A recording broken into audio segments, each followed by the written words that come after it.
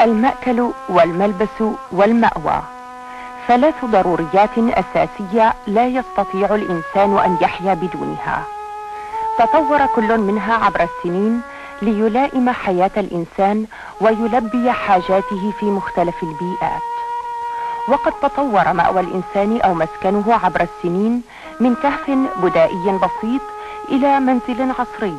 تتوفر فيه كافة وسائل الراحة الجسدية والذهنية. وأصبح المنزل رمزا لاستقرار الإنسان. يتوجه إليه بعد عناء يومه ومأوى يضم أسرته ومركزا لكيانه الاجتماعي ومكانا يوفر له حياة رغيدة ومستقبلا أفضل.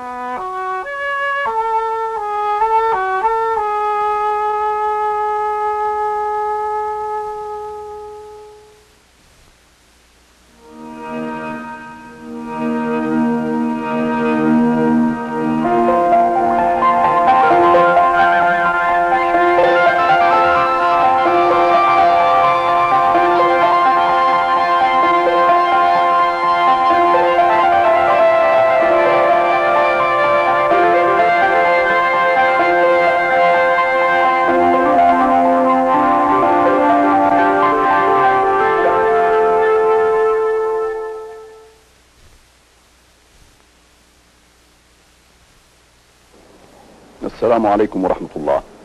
لقد قطع العالم العربي خطى حثيثة على درب التطور الإسكاني في سعيه المتواصل لتلبية حاجات النمو السكاني ولمواكبة ركب التنمية الاجتماعية والاقتصادية. إن توفير سكن صحي